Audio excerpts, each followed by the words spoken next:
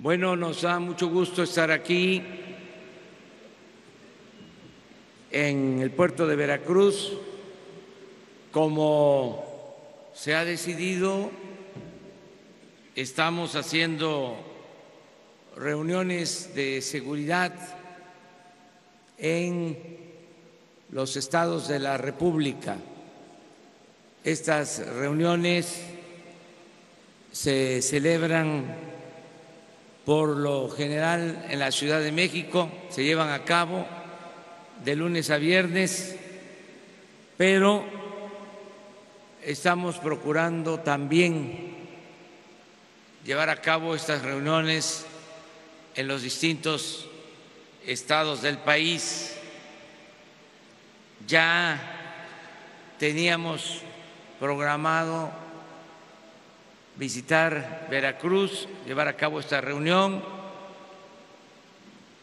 Cuando se presentan los hechos lamentables de Minatitlán y es más que oportuno estar aquí en Veracruz, no solo eh, en la reunión que acabamos de llevar a cabo, sino decirle también a los ciudadanos de Minatitlán que los vamos a visitar. Este viernes voy a estar en Minatitlán y en Coatzacoalcos. Vamos a estar viernes, sábado en Coatzacoalcos, Minatitlán. Vamos a Matías Romero del Istmo, vamos a estar en Juchitán y en Salina Cruz el fin de semana para hablar con la gente. Vamos a llevar a cabo reuniones de trabajo y actos públicos para informar a los ciudadanos. Hoy, como se va a hacer todos los lunes, vamos a dar a conocer el quién es quién en el precio de las gasolinas. Es la segunda ocasión que lo hacemos pero ya va a quedar establecido de que todos los lunes se va a dar a conocer el precio de las gasolinas para que podamos controlar los precios. Hay la decisión de no aumentar los precios de las gasolinas, del diésel, del gas y de la luz. Y estamos cumpliendo con ese compromiso. Pero como en algunos casos depende de distribuidores que son los que fijan el precio final al consumidor, hay eh, márgenes que se salen de cualquier proporción, es decir, se abusa. Y por eso es que decidimos que con el apoyo de la gente se vaya controlando el precio de los energéticos, que la gente compre donde se den litros de a litro y se ofrezcan buenos precios.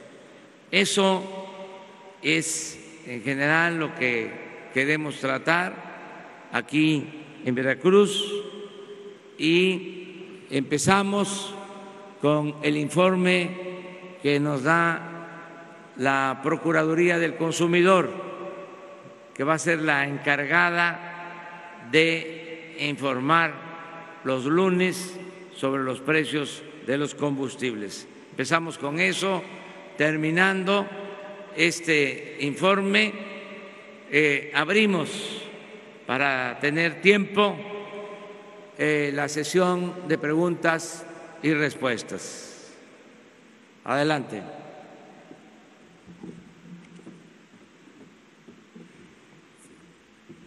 Muy buenos días.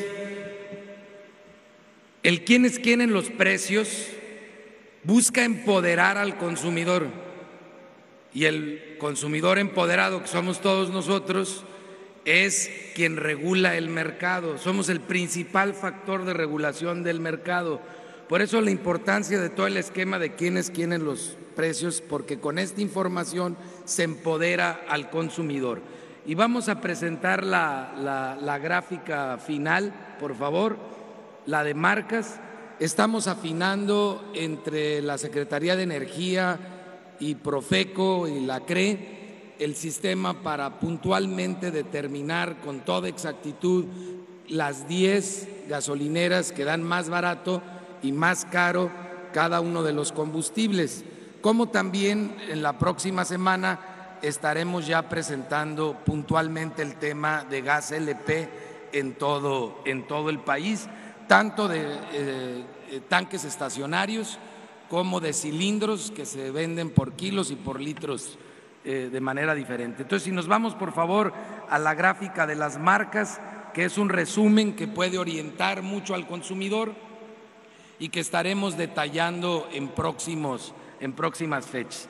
En la gasolina magna tenemos nosotros Chevron, Shell, son las dos gasolineras que dan más cara en el país la gasolina magna, mientras que las cadenas Orsan, Lagas y Lodemo eh, son las que las dan más económicas. El precio, el precio estable o promedio en el mercado lo está dando los franquiciatarios de, Pemex. Y tenemos nosotros ahí la escalada de, precios en la magna. Igual la siguiente gráfica que es en la gasolina premium. Si pasamos a la subsecuente, aquí otra vez se repiten las mismas dos gasolineras que son las que están dando en promedio más caro el premium, sobre todo Chevron, que es donde más se dispara el precio de, este combustible y las que están dando más económico, como ya habíamos mencionado también en la Magna, eh, Orsan, La Gas y Lodemo. Y viene una variante ya en el combustible de diésel, que es el que tiene el comportamiento, digamos, más diferente en comparación a Magna y a Premium, que su comportamiento es muy similar. Y aquí los que están dando más económico es Chevron más caro eh, el premium y, la, magna, pero son de los que dan más económico eh, el diésel, Arco a 20.75 y eh, Rendigas. Y este es el comportamiento de los combustibles en nuestro país. Estaremos dándole la próxima semana ya información muy puntual al consumidor con exactitud de qué gasolinera exactamente en qué domicilio está dando más económico, los 10 más económicos y los 10 más caros en todo el país. Y ya tomando en cuenta por instrucciones del señor presidente el tema de distancia del lugar de abasto del combustible por parte de Pemex, que, eso pues hay que tomarlo en cuenta porque no sería justo que no se considerara. Algunas gasolineras están muy distantes a los lugares de abasto y influye en el precio, como también los descuentos de volumen que da Pemex. Y esto lo estamos ya ponderando para lograr una fórmula exacta que coadyuve con la intención del señor presidente en empoderar al consumidor. Y el consumidor, al decidir dónde comprar, pues castigará a los que tienen márgenes que en promedio están por arriba del 20% y recurrirá a aquellas estaciones de servicio que están dando más barato y que en promedio encontramos que están teniendo un margen de alrededor del 10%. Esos son los diferenciales entre los que dan más caro y los que dan más barato. Gracias, señor presidente. Muy bien, se les va a entregar la información por estación, por gasolinera y este es un resumen que se les presenta. Muy bien, abrimos ya. Vamos de aquí para. A ver, si les parece, un eh, medio nacional y uno local. ¿De qué medio? Gracias, de Periódico Reforma, Benito Jiménez. Nacional. Sí. Eh, primero, sobre qué es eh, los resultados de la reunión de Gabinete de Seguridad. Hoy, eh, cuáles fueron los resultados también respecto a Veracruz. entiendo un alza ahí de homicidios, de violencia en el Estado. dos, estas acusaciones de partidos como PRD, Movimiento Ciudadano, de que hay una, un acuerdo entre un juzgado para regresar los bienes a Elvester Gordillo este, y sobre la seguridad tras las amenazas de un eh, eh, cártel ahí de Guanajuato. Eh, entendemos que ya hay un reforzamiento en su domicilio. Si nos pudiera comentar esas tres cosas, por favor. Está un poco mal el audio, ¿verdad? Sí. A ver, la primera es que... La, primera es el resultado de la, reunión de seguridad sobre Veracruz. Esa es la primera. Sí, estamos eh, trabajando en Veracruz para atender el problema de inseguridad, de violencia. Nos reunimos con el gobernador de Veracruz, Cuitláhuac García. Se hizo una eh, revisión, se hizo un análisis de lo que está sucediendo y vamos a seguir apoyando al gobierno del Estado y a los gobiernos municipales de Veracruz para garantizar la paz y la tranquilidad. Yo lamento mucho lo que sucedió en Minatitlán, lo que ha venido pasando también en otras partes. Solo quiero decir que vamos a garantizar la paz en Veracruz. Es mi compromiso como presidente de la República. Lleva tiempo porque eh, dejaron el Estado y el país en una situación lamentable de conflicto, de crisis, de corrupción, de contubernio entre eh, delincuencia y autoridades. Esa fue la herencia que se recibió en el país y de manera particular en Veracruz. Por eso considero que vamos a poder garantizar la paz y la tranquilidad, porque ya no hay ese contubernio que existía, ya no se tolera eh, la impunidad arriba, ni en la presidencia ni en el gobierno del Estado. Aquí en Veracruz, desgraciadamente, en los últimos gobiernos, lo dije ayer, lo repito ahora, había mucha complicidad entre la delincuencia y las autoridades. Eso ya se termina. Desde luego hay una tendencia, hay una inercia que poco a poco tendrá que irse enfrentando esta herencia es parte de, los resultados del primer trimestre de este año que arroja el, datos del Sistema Nacional de Seguridad Pública de más de 7 mil homicidios, el más sí, violento. Es parte de lo mismo. Miren, se lo explico y quiero que quede claro. Eh, en el caso de la corrupción, en una tendencia al alza, pero considerable, no del último sexenio. Pasamos del lugar 35 de los países más corruptos del mundo al lugar 136 del 35 al 136. O sea, en tres sexenios, los dos de Fox y Calderón y el de Peña. Aumentó como 100 lugares la corrupción. Eh, si se compara con otros países del mundo. Eh, nos encontramos también de que se venía cayendo la producción petrolera de dos millones cuatrocientos mil barriles diarios cuando aprobaron la reforma energética a un millón 650 mil, así, en picada.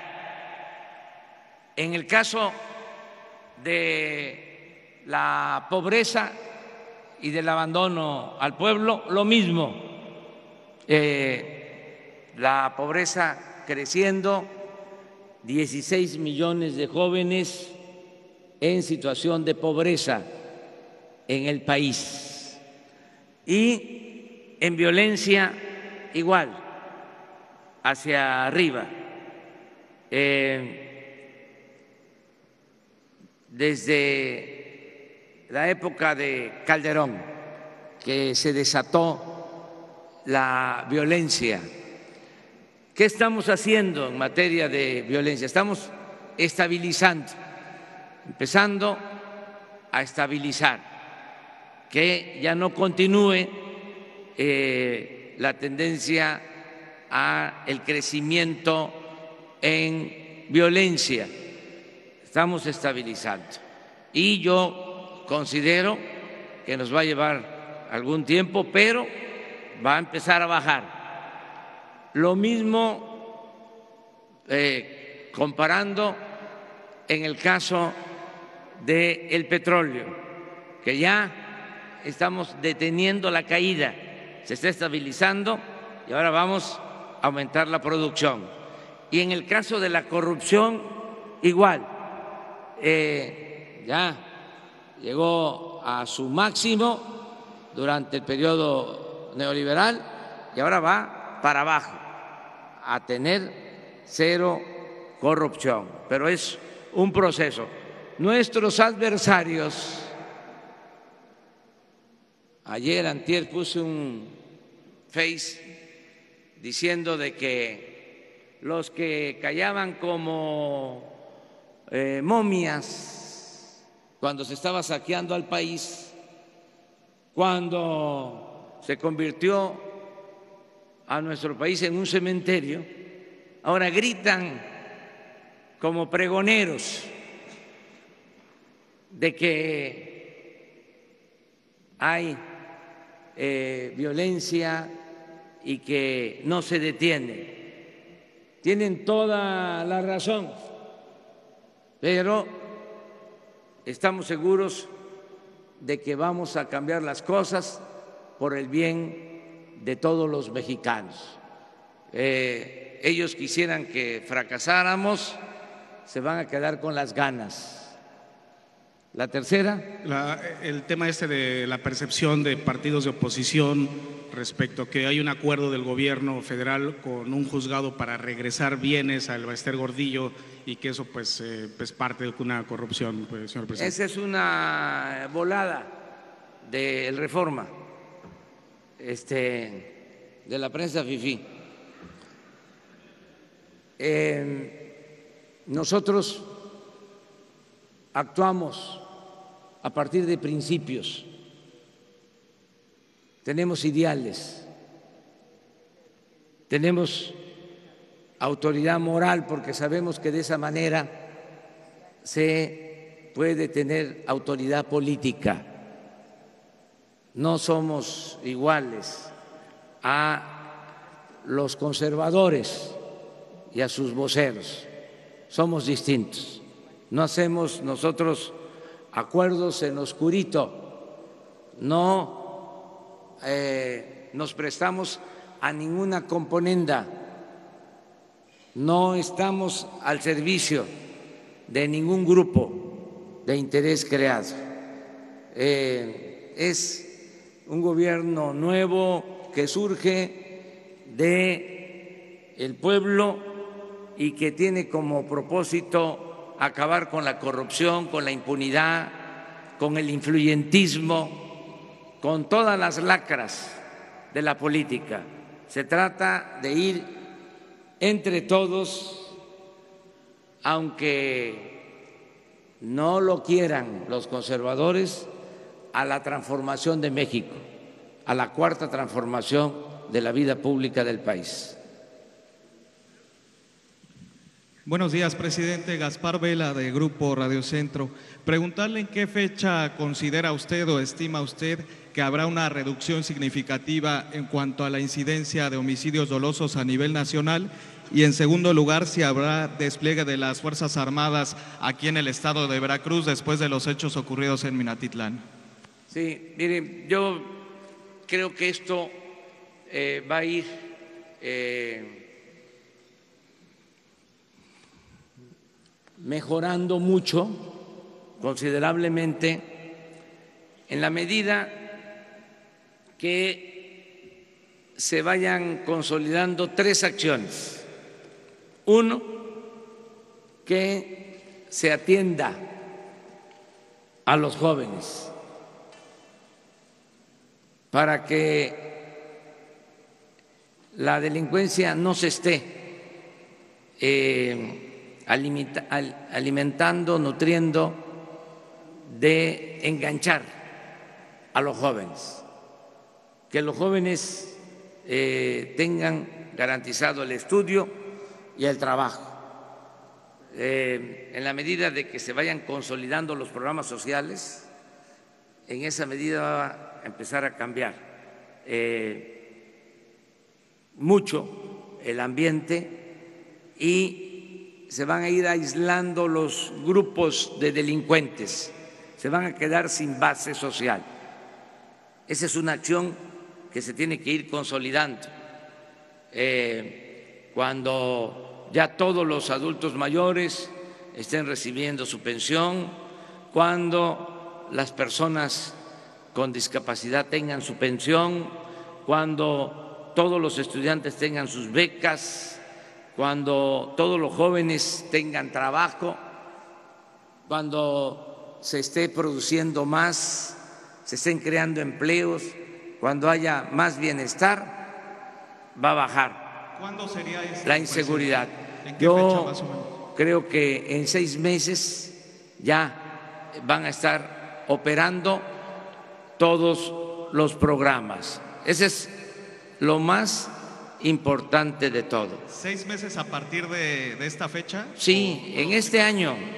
Es que ya de 8 millones de adultos mayores, 7 millones ya están recibiendo su pensión al doble de lo que recibían anteriormente. Y muchos no eran tomados en cuenta. Los pensionados del ISTE, del Seguro, de la Marina, del Ejército, de Pemex, no eran tomados en cuenta. Ahora están recibiendo apoyos. Y los jóvenes estaban completamente abandonados. Lo único que hicieron los de el régimen neoliberal fue etiquetarlos como ninis y no hacían nada por los jóvenes. Además, decían, ni estudian ni trabajan, son ninis, pero se les dio la espalda a los jóvenes. Entonces, ya esos programas existen. En Veracruz, eh, 100 mil jóvenes van a tener trabajo como aprendices en seis meses. Van a estar ganando, mientras están capacitando,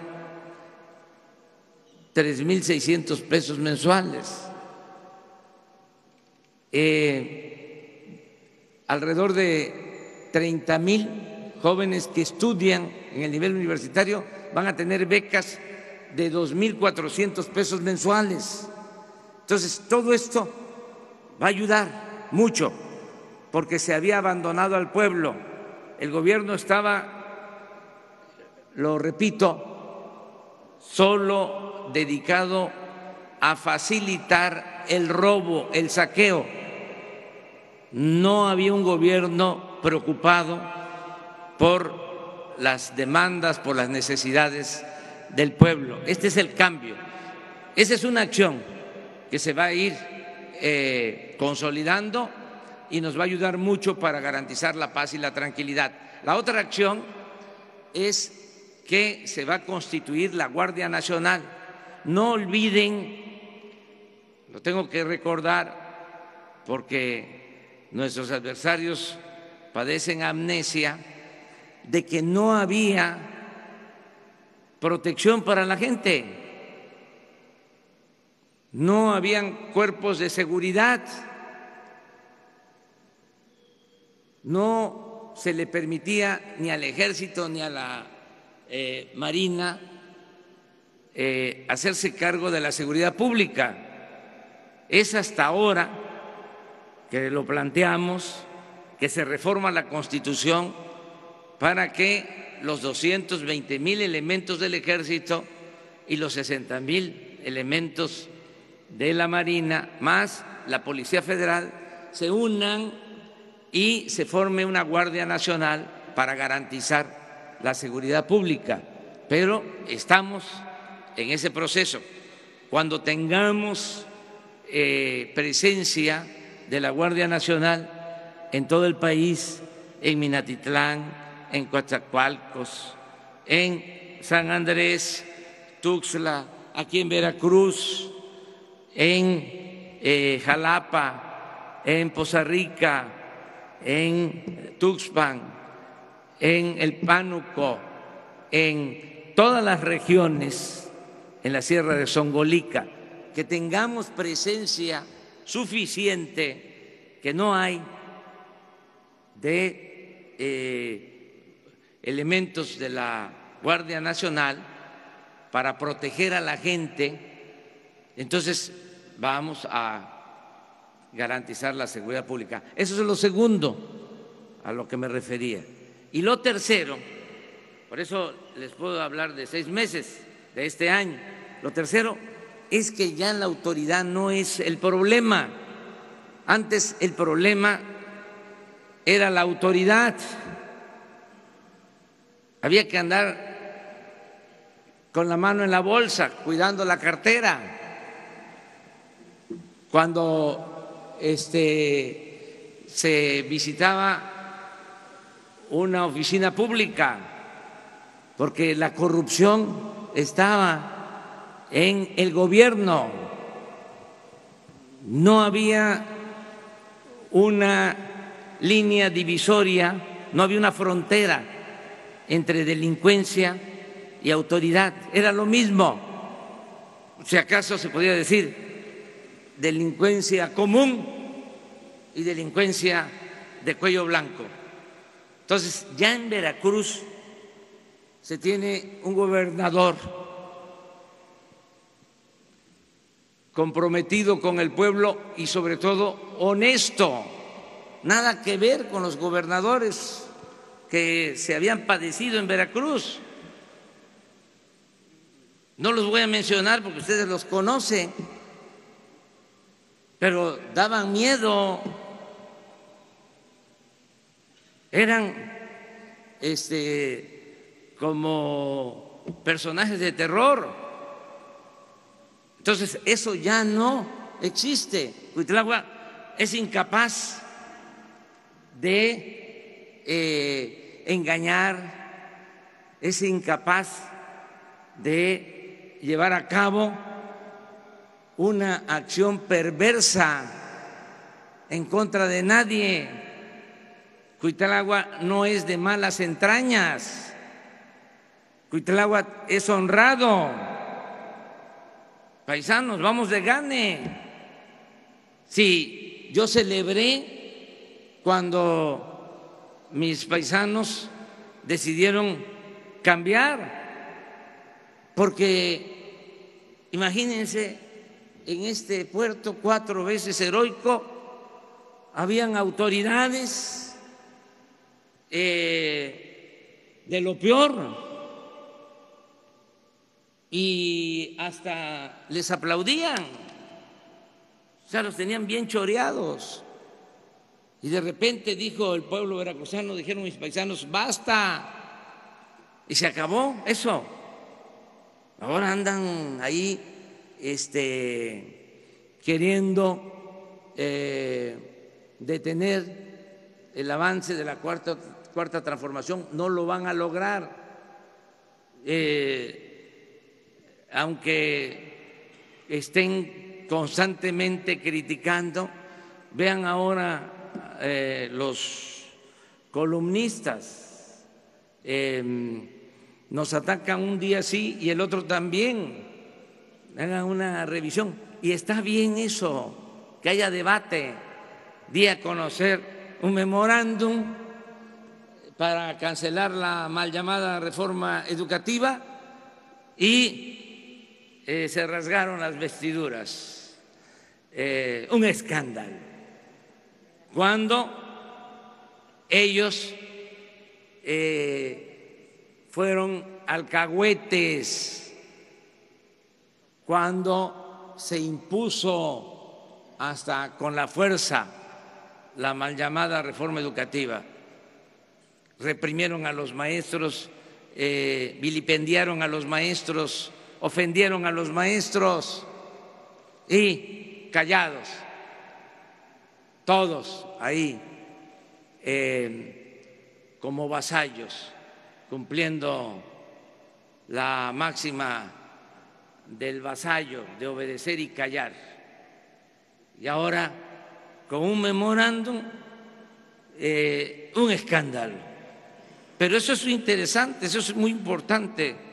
Eh, vámonos al debate, que siga así. Este, no vamos a pedirle frías a nadie. La vez pasada me preguntaban sobre este tema y dije, eh, no voy a ir a decirle a Carlos Slim, que es el dueño de este medio, Uno TV, que nos atacan este, eh, cada 24 horas. No, las 24 horas. Este, no les voy a decir, oye Carlos, este, ayúdanos. No le voy a ir a decir al dueño eh, del financiero, Manuel, que es eh, amigo, conocido, oye, dile a Pablo Iriar, que este, fue el vocero de Salinas de Gortari, que ya no eh, esté dedicando eh, todos los días la columna a atacarnos no lo voy a hacer. No voy a ir a decirle a Alejandro Junco, ya este, no publiquen cuestionamientos en su columna, ya no estén eh, inventando, ya eh, no calumnien, ya no apliquen la máxima del AMPA del periodismo, según la cual la calumnia cuando no mancha tizna. Ya no hagan eso. Nada. Adelante. Porque si no la vida sería muy aburrida. hasta estaríamos bostezando. Esto tiene que eh, tener más eh, ritmo, más profundidad, siempre y cuando haya respeto y no haya censura, que se garantice la libertad de expresión. Presidente, sobre el despliegue de las Fuerzas Armadas en Veracruz, ¿habrá o no habrá? Sí, este, cuando les hablo de la Guardia Nacional, eh, vamos a reforzar eh, con más elementos de la Secretaría de Marina y del Ejército en el estado de Veracruz. Lo vamos a hacer en todo el país, pero ya estamos trabajando en eso. Vamos eh, el fin de semana a hacer un anuncio con ese propósito en Minatitlán, en Coatzacoalcos. Tú, tú eres... Eh, bueno, buenos días. Eli, ahorita vamos para acá. Eh, buenos días, presidente eh, Manuel Espino del periódico El Universal.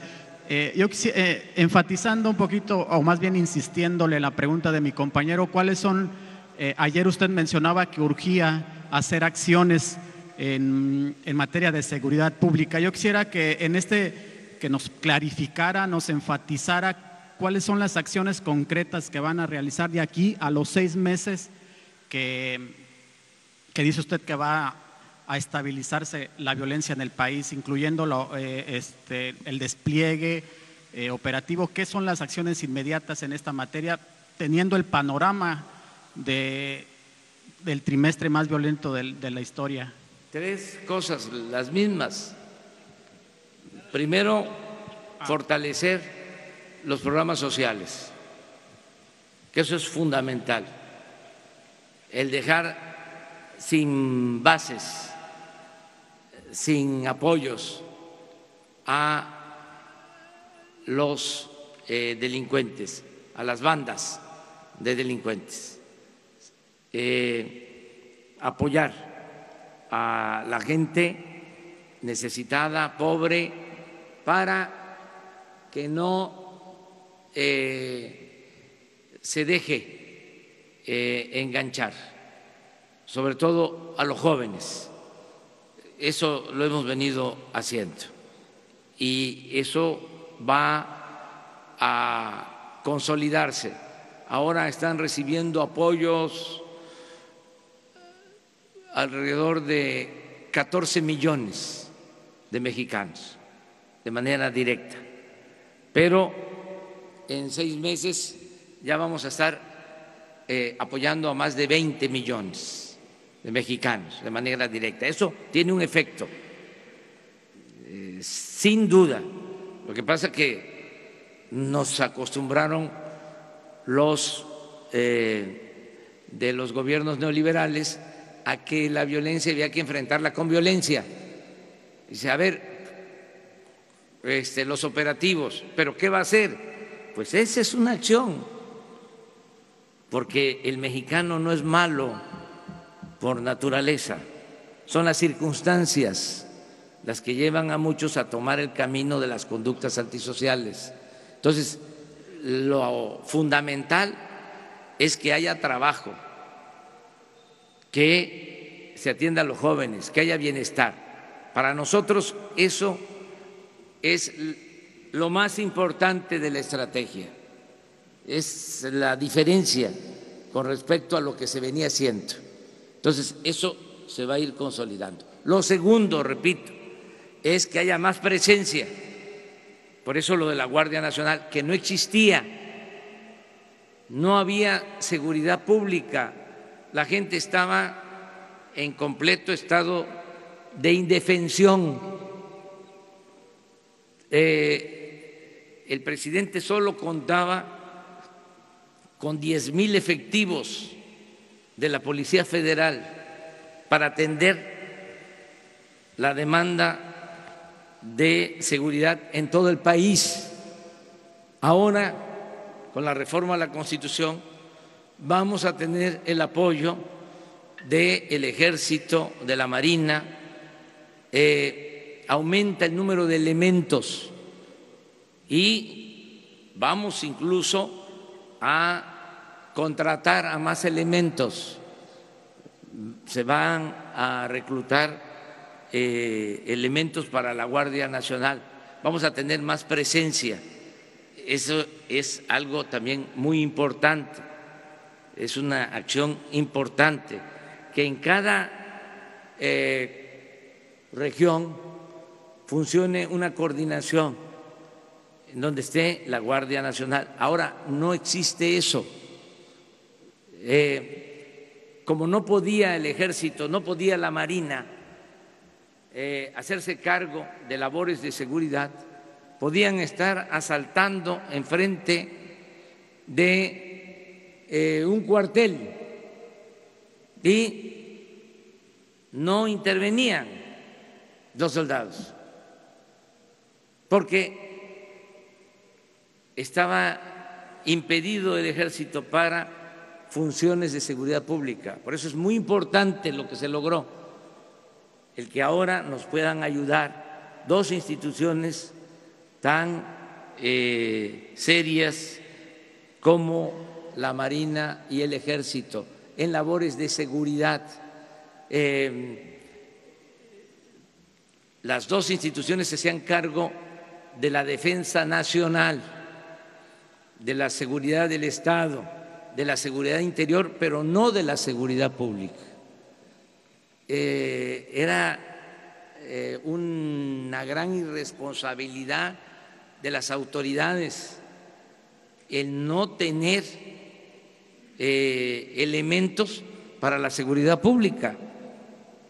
Solo los estados las policías estatales y las policías municipales en situaciones también muy deplorables de mucho abandono. Entonces, lo segundo, repito, es que va a mejorar mucho, mucho eh, el que haya presencia de elementos para evitar la eh, delincuencia, para evitar la violencia. Y lo tercero, pues es que no se mezcle la autoridad, que no haya contubernio entre la autoridad y la delincuencia, que haya honestidad, que no haya corrupción y que trabajemos de manera coordinada y todos los días. Por eso estoy seguro que vamos a lograr resolver el problema, a pesar de eh, lo arraigado que está el mal, porque dejaron pasar mucho tiempo, todo el periodo neoliberal se dedicaron a saquear al país y no les importó la gente, se empobreció al pueblo, se abandonó a los jóvenes, se desintegraron las familias, se produjo una migración que no se había visto, nada más de Veracruz, en el periodo neoliberal, se fueron más de un millón de veracruzanos, emigraron, se fueron a las ciudades fronterizas, se fueron del otro lado de la frontera a buscarse la vida. Y toda esa migración, pues, trajo desajustes en lo familiar. Los jóvenes crecieron sin tutela y eh, se fue también imponiendo un estilo de vida en donde lo que importaba era lo material, la ropa de marca, las alhajas, los carros últimos modelos. Entonces se perdieron valores. Por eso tenemos también que fortalecer valores culturales, morales, espirituales. Es todo un proceso y vamos hacia allá. Este, y todos los días estamos trabajando para lograrlo. Pero no voy a dejar de decir, porque los veo. Este, yo no em, soy como aquel que decía que ni los veo ni los oigo. Yo los estoy viendo y los estoy este, eh, escuchando y también eh, atendiendo, porque no tengo enemigos, tengo adversarios. Oiga, nada más preguntarle ya por último, eh, ¿va a reforzar su, va a reforzar su seguridad? ¿Va a reforzar su seguridad después de la segunda amenaza que le lanzó un grupo criminal en Guanajuato? ¿Cómo? ¿Va a reforzar su seguridad después de la no, segunda? no, no, no, no, no, no, no. El que lucha por la justicia no tiene nada que temer. Y yo soy como ustedes, soy un ser humano y tengo miedo, como todos los seres humanos, pero no soy cobarde.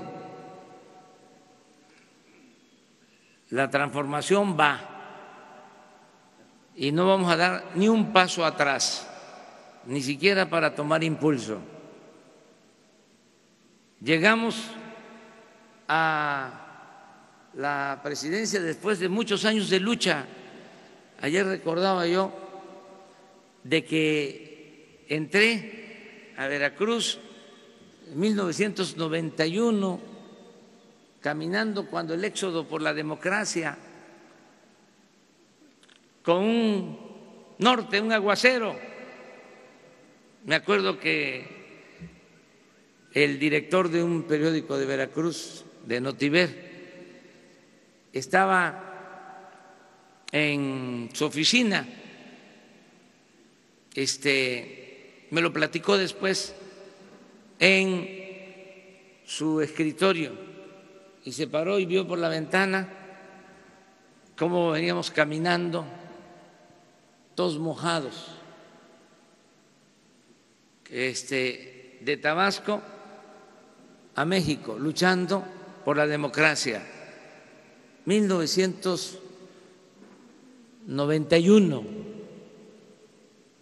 caminando, 50 días.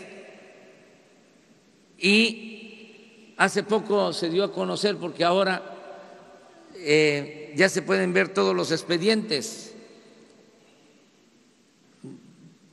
de los que eran espiados, ya se abrieron los expedientes.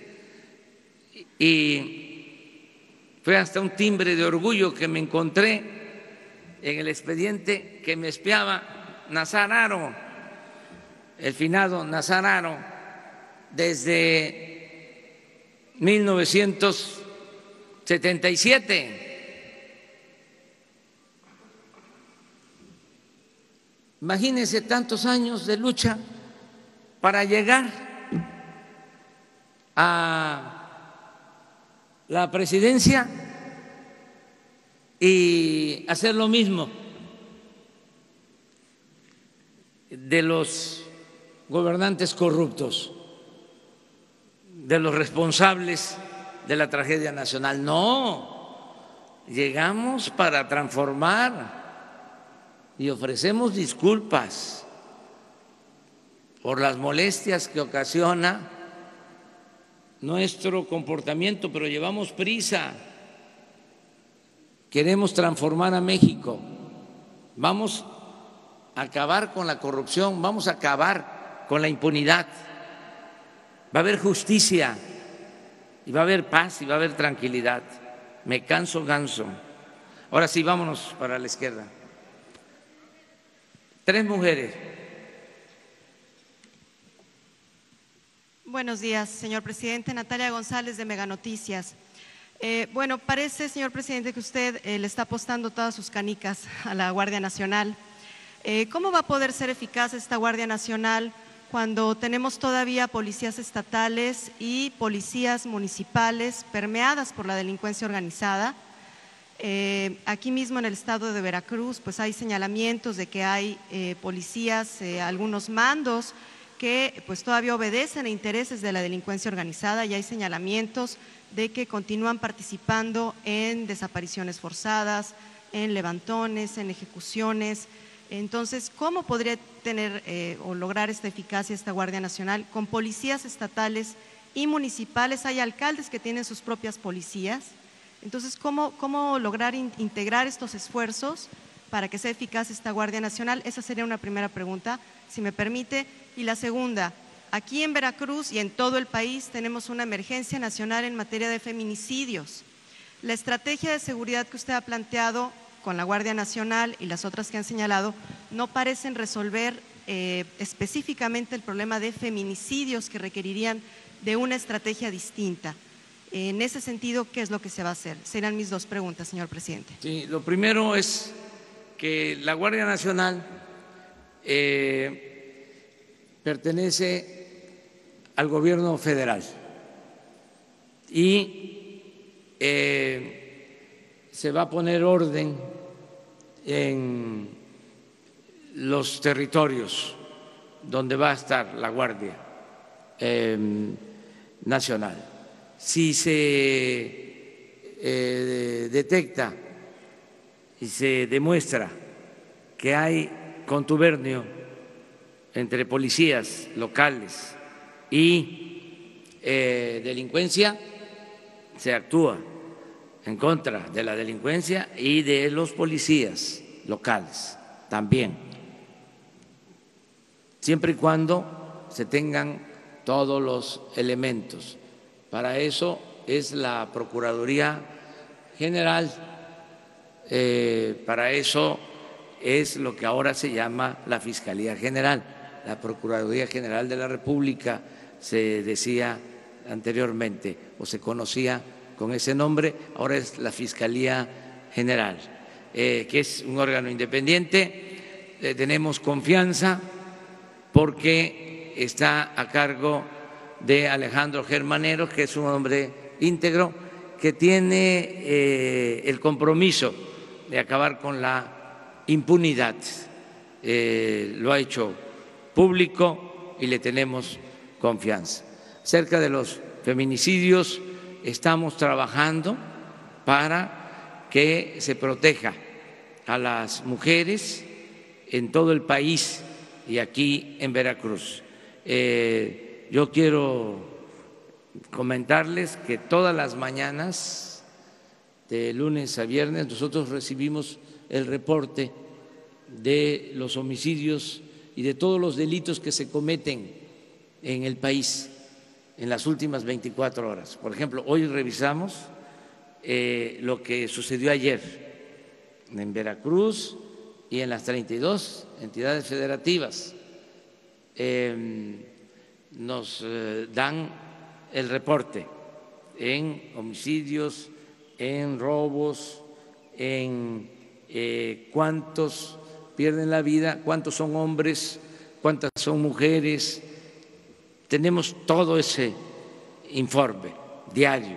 Eso eh, lo tengo que subrayar porque ni modo, eh, ofrezco disculpa, pero como este, impera la amnesia en los conservadores, les tengo que decir que nunca un presidente, ¿sí? Eh, no es para presumir, es nada más para destacarlo, subrayarlo, nunca un presidente de la República había atendido de manera personal este asunto. Yo no sé quién de seis de la mañana a siete, una hora diaria, eh, de lunes a viernes.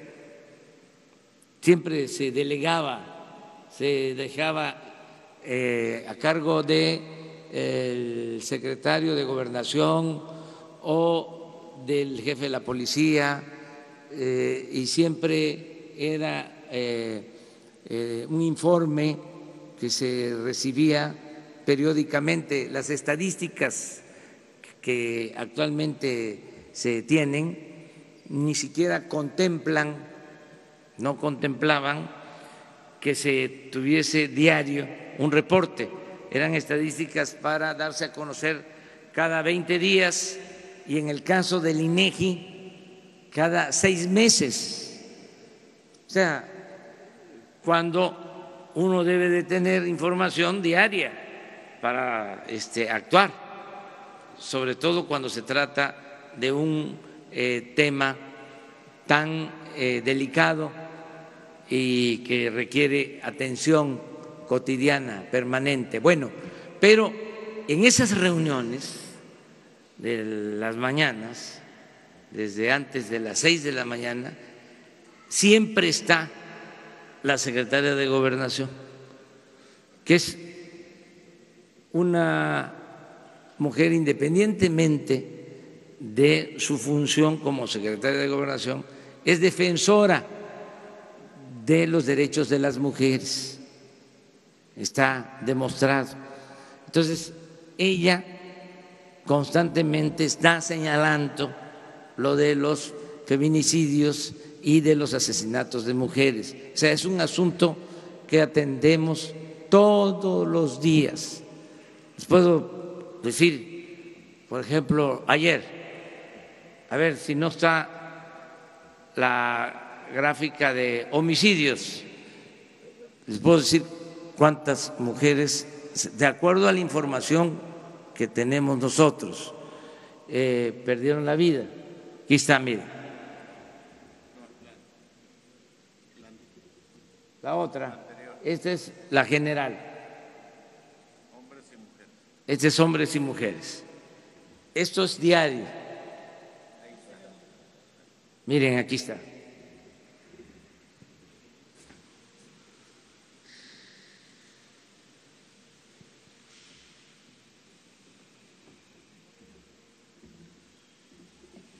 A ver si se alcanza a ver. Creo que son, porque ayer fue uno de los días 45 hombres y mujeres y cuatro mujeres. Eh, en general.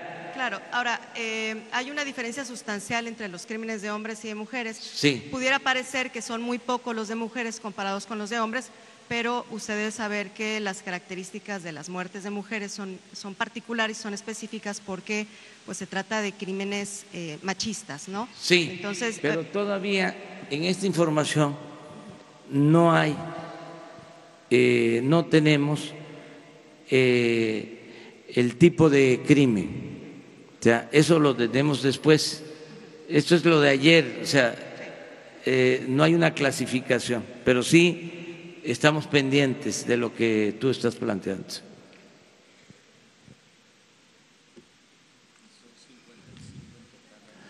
Sí, pero ya no lo quiero decir.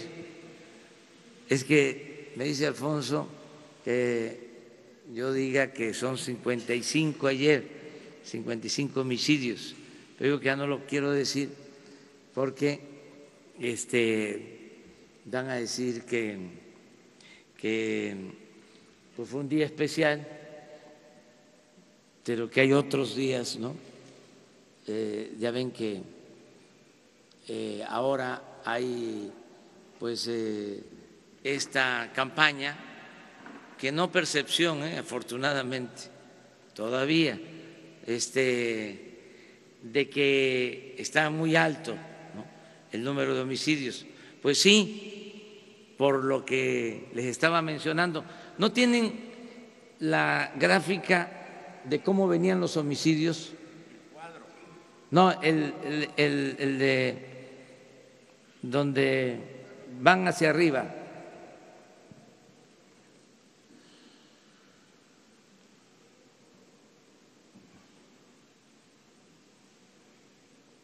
Porque es que había una tendencia del 2018. Entonces, todo eso es de tomarse en cuenta, pero ahora la, la localizan.